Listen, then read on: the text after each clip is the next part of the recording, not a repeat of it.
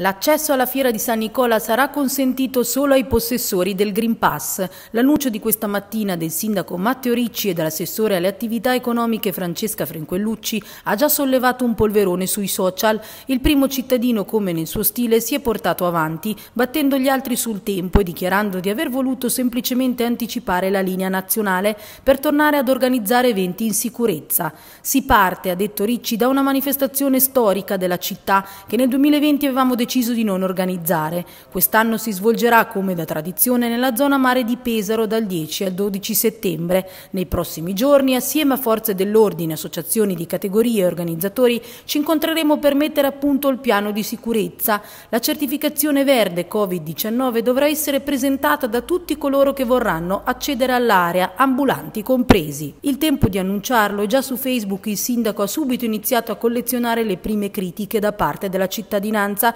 non tutta ovviamente. Intanto l'assessore Francesca Frenquellucci ai microfoni di Fano TV spiega perché il Comune ha deciso di adottare questa linea. Come decisione eh, non siamo i primi a prenderla perché comunque come vediamo anche dai TG, anche in altre parti del, del mondo stanno prendendo e vanno in questa direzione.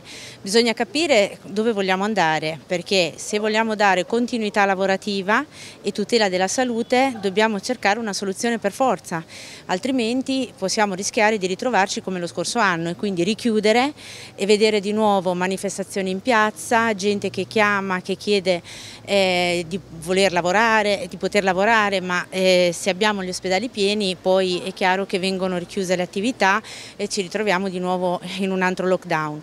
Tutto questo non lo possiamo permettere, quindi una soluzione va presa. Eh, capisco che come inizio può sembrare no, tutto eh, esagerato, però aspettiamo di vedere anche la parte tecnica no, delle decisioni che verranno prese poi eh, anche riguardo al Green Pass. Vi siete chiesti se dal punto di vista costituzionale è legittimo?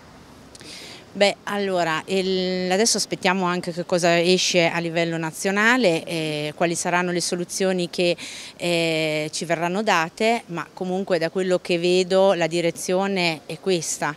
Eh, altre soluzioni non le vedo, altrimenti ci, se poi la curva si rialza ci saranno di nuovo chiusure e, e con tutte le conseguenze che abbiamo già vissuto.